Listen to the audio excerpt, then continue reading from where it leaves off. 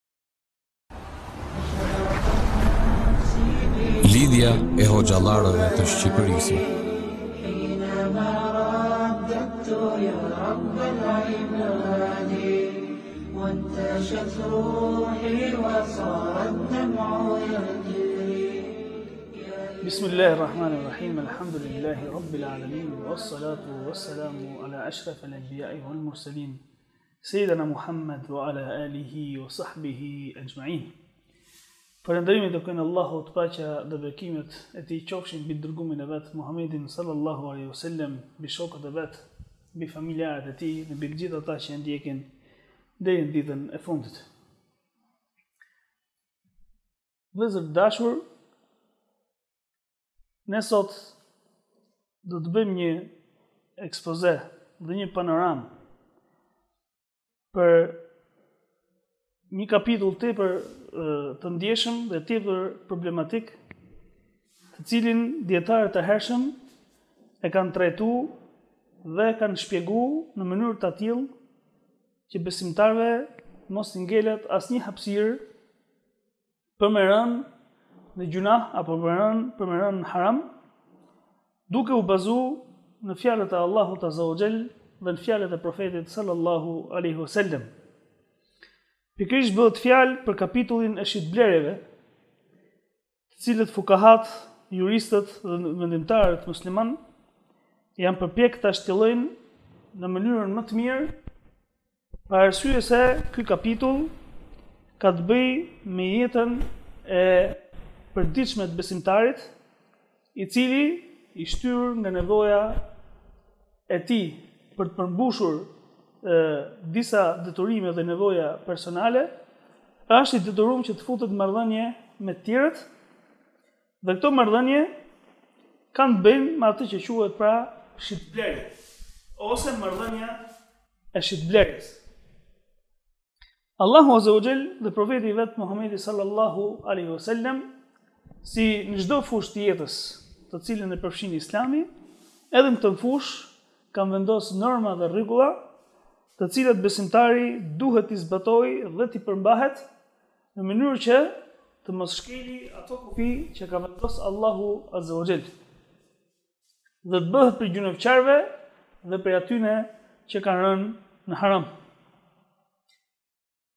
Me thënë drejtën, ky është një kapitull shumë i gjerë, për arsye se fusha e shitblerjeve dhe marrëdhënieve ndërnjerëzore është shumë e gjanë, shumë e madhe, Dhe ne do të përpiqemi që në mënyrën sa më të thjeshtë t'i paraqesim besimtarëve disa rregulla, pra t'i përkujtojmë ata më mirë të themi me disa rregulla dhe norma, të cilat duhet t'i kenë parasysh kur të futen në marrëdhëniet e tyre me njerëzit, apo kur të ngrejnë me ta një marrëdhënie që ka të bëjë me, e, me shitblerjen.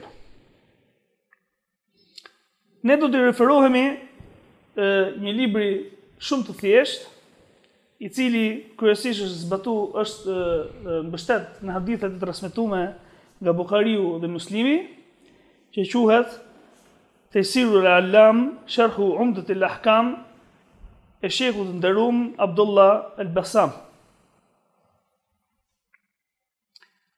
Në lidhje me temën, ne do të bëjmë njohje të vogël edhe të shkurtër në lidhje me shitblerjen, se çfarë është shitblerja. Realisht në burimet e Islamit, Kuranit dhe Sunetit të Profetit sallallahu alaihi wasallam, shitësi dhe blerësi quhen bej'an. Quhen të dy shitësa.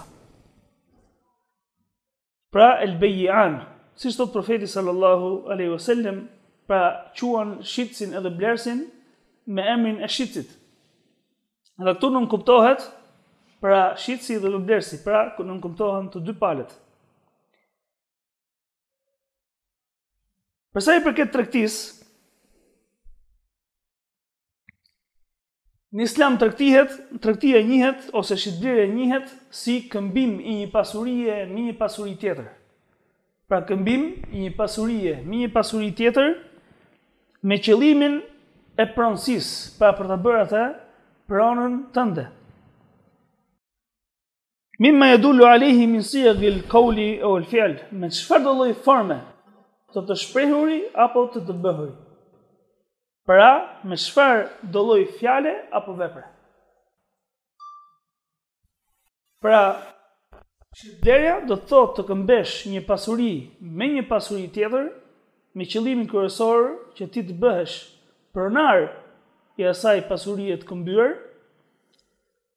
Dhe kjo të realizohet nëpërmjet fjalës apo nëpërmjet veprës. Dhe Allahu Azze ue Xhel në tërësi e ka leju shitblerjen dhe ka ndalu kamatën. Thotë Allahu Azze ue Xhel, wa ahalla Allahu lbeja, wa harrama rriba, dhe Allahu e ka leju shitblerjen dhe e ka ndalu kamatën.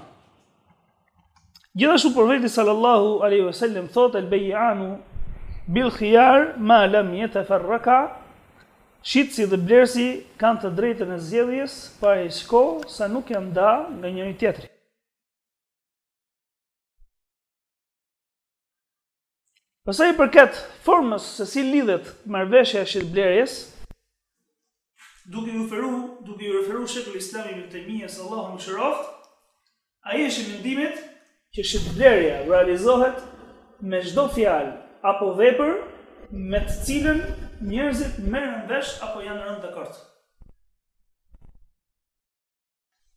Pra, çdo fjalë apo vepër që tregon për pranimin e marrëveshjes në shitblerje është e pranueshme në Islam, qoftë kjo fjalë apo qoftë kjo vepër.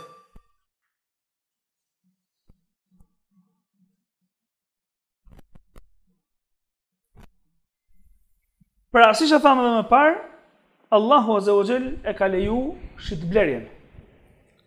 Dhe nga format e shitblerjes janë përjashtu ato lloj këmbimesh të cilat bazohet, bazohen në një argument i cili i ndalon ato.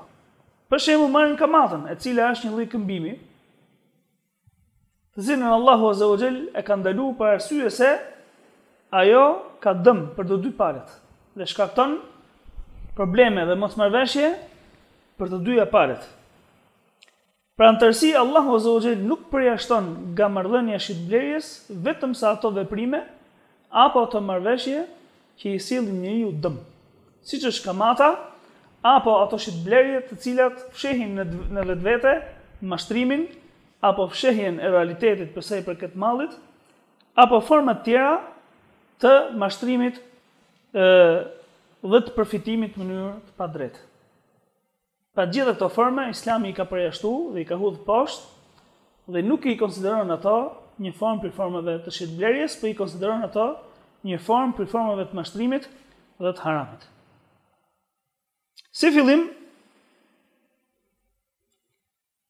Përmendim një hadith të transmetu nga Abdullah ibn Umar radiallahu anhu i cili thotë, pra duke përcjell nga profeti sallallahu aleyhi wa sallam i cili thotë, idha tebaja er-rexhulani fe kullun min, fe kullun minhuma bil khijar, në qoftë se dy burra, dy njerëz, shesin dhe blejnë me njëri-tjetrin, secili prej tyre ka të drejtën e zgjedhjes.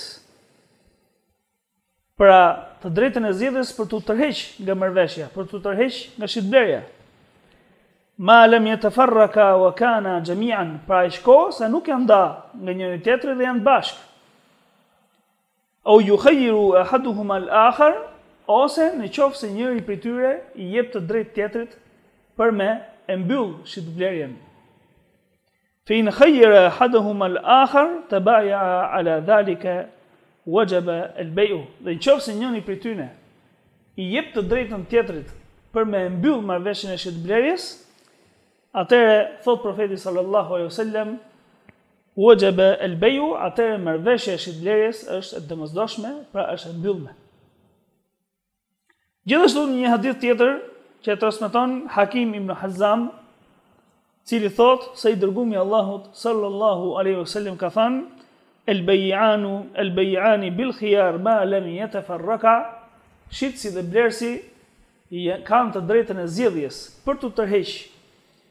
Për aq kohë sa nuk janë nda nga njëri tjetri. Ose thotë hatta yatafarraka, ose thotë derisa të ndahen. Fa in sadaqa wa bayyana, në qoftë se tregohen të sinqertë dhe i shfaqin të metat e mallit të tyre, burike lehuma fi bejihima, atyre do t'u jepet bereqet në marrëveshjen e tregtisë që kanë bë. Fe in ketema wa kedheba, dhe në qoftë se i fshehin, Dhe gënjejnë, muhikat berekatu bejihima, do të fshihet dhe do të hiqet bereqeti i shitblerjes së tyre. Pra ka të drejtën e zgjedhjes, siç thotë profeti sallallahu alejhi we sellem, do të thotë që për aq ko, për aq kohë sa shitësi dhe blerësi janë bashkë me njëri tjetrin, secili prej tyre ka të drejtën të tërhiqet. Nga pazari që ka bë.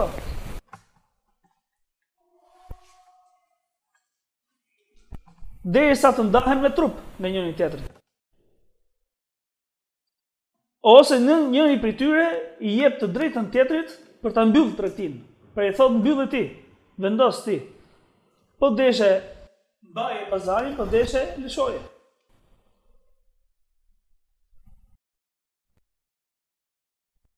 Pastaj thot profeti sallallahu alaihi wasallam, në qoftë se ata tregohen të sinqertë dhe i shfaqin të metat e tregtisë dhe biznesit të tyre ose malli që shesin, Allahu azza wa jall do t'i japë bereqet në marrëveshjen që kanë bërë. Por në qoftë se i fshehin dhe gënjejnë, atëherë Allahu azza wa jall do ta fshi bereqetin e kësaj marrëveshje. Kuptimi i përgjithshëm i këtyre dy haditheve është fakti se njeriu kur bën një marrëveshje gjithmonë ka nevojë për një kohë të caktuar për t'u mendu. Për të pa nëse ia vlen që ta vazhdojë këtë marrëveshje apo që ta lërë atë dhe të largohet.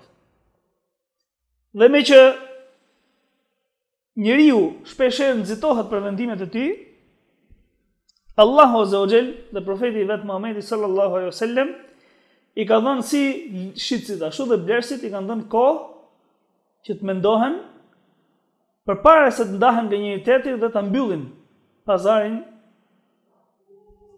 në lidhje me një mall të caktum. Prandaj thot profeti sallallahu alejhi ue sellem që secili prej tyre ka të drejtën e zgjedhjes pa t'largohet, për aq kohë sa nuk janë nda nga njëri tjetri. Por në qofë se ndahen nga njëri tjetri dhe e mbyllin pazarin, në forma dhe mënyra që njerëzit i kuptojnë Pra e kuptojnë ndarjen si mbyllje pazari, apo e kuptojnë një veprim të caktum si mbyllje pazari, atëherë, në qofë se ata largohen nga njëri tjetri, me një formë apo një tjetër, ky pazar quhet i mbyllur, dhe nuk i lejohet më asnjë pale, që të kthehet nga pazari që ka bë. Vetëm në rast se dikush heq dorë nga e drejta e tij. Pra në qoftë se njëra palë heq dorë si shitësi, si blesi nga e drejta e tij, pra shitësi e kthen mallin, e pranon që ta kthej mallin, apo në rast se shitësi e kërkon blesit për me kthy mallin dhe ai pranon që ta kthej, Në këto të dy raste, nëse njëra palë tërhiqet, atëherë mund të prishet pazari që ata kanë bë. Në rast të kundërt ai vazhdon dhe nuk mund të tërhiqet më pas. Gjithashtu profeti sallallahu alejhi ve sellem sqaron edhe disa shkaqe të suksesit të kësaj marrëveshje apo shkaqe të dështimit. Një nga shkaqet e suksesit është që njeriu të tregohet i sinqertë. Të tregojë dobësitë e mallit, të tregojë të metat e mallit. Gjithashtu blerësi të tregohet i sinqertë dhe të mos shfrytëzojë ndoshta paaftësinë apo papjekurinë e shitësit për me ble një mall të caktum dhe duke përfitu kështu në mënyrë të padrejtë. Në qoftë se ata e bëjnë këtë, atëherë Allahu azze ve xhel i jep bereqet shitblerjes së tyre. Po në qoftë se gënjejnë dhe i fshehin të metat e pazarit të tyre, Allahu azze ve xhel jua fshin bereqetin dhe mirësinë që ajo ka. Gjithashtu, dihet që një nga shkaqet madhore të dështimit të tregtive apo bizneseve është fakti që shitësi nuk tregohet i sinqertë për mallin që ka, apo i fsheh të metat e tij. Derisa vjen një moment që klientela e tij largohet duke pa mungesën e sinqeritetit deri në atë pikë sa biznesi i tij të shembet. Thotë profeti sallallahu alaihi wasallam, "Men gashena felejse minna", kush na mashtron nuk është prej nesh. Dhe jo vetëm n'dynja, por pasojat e kësaj tregtie, jo të ndershme, njeriu do t'i vujë edhe ditën e gjykimit, ku dënimi do të jetë edhe më i dhimbshëm. Çfarë mund të përfitojmë prej këtij hadithi? Prej këtij hadithi, së pari, Ne kuptojmë që Allahu Azza wa Jall i ka dhënë të drejtë si shitësit ashtu dhe blerësit që të tërhiqet nga marrëveshja e shitblerjes për aq kohë sa nuk janë nda nga njëri-tjetri. Gjithashtu, periudha e kësaj të drejte vazhdon deri në momentin që ata nuk janë nda. Dhe në qoftë se ndahen, kjo periudhë mbaron.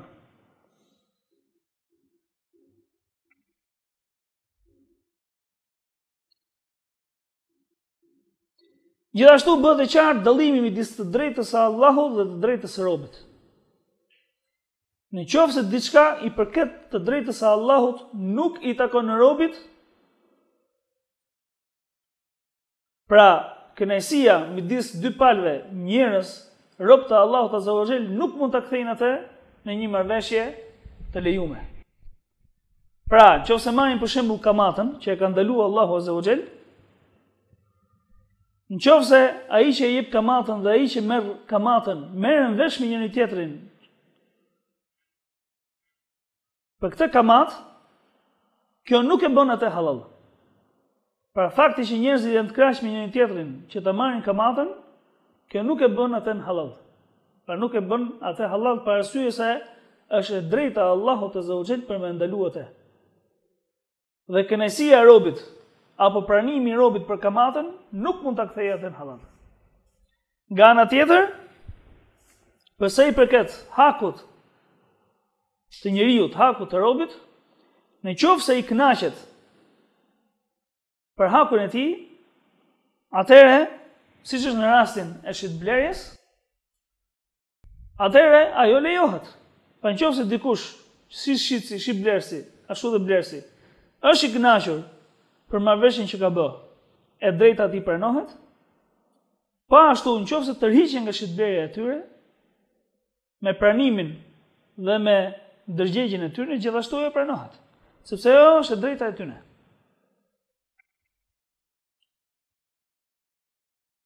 Gjithashtu, format e ndarjes nga vendi që bëhet marrëveshja e shitblerjes.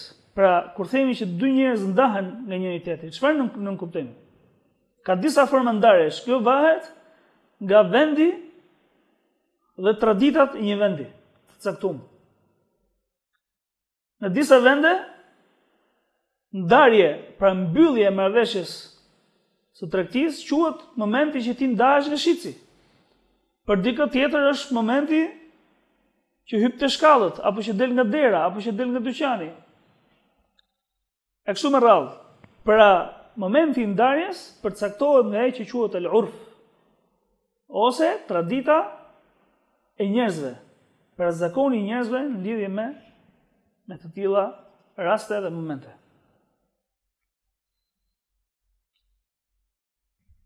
Gjithashtu,